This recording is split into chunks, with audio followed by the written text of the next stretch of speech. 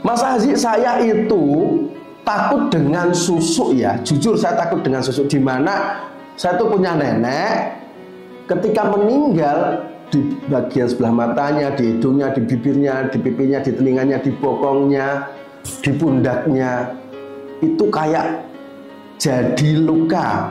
E, kayak kalau Jawa itu jadi borok begitu bernanah mengerikan menjijikan saya ingin memanfaatkan susu tapi takutnya saya nanti kalau tua begitu Mas Haji.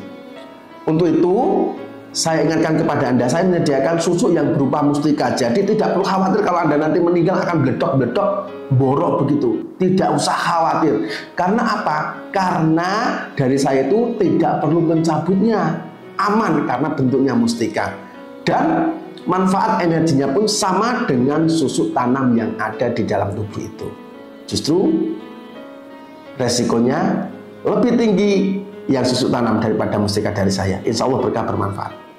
Silakan hubungi nomor ini jika Anda berminat dengan susu mustika dari saya. Aman tanpa efek samping ini ilmu putih.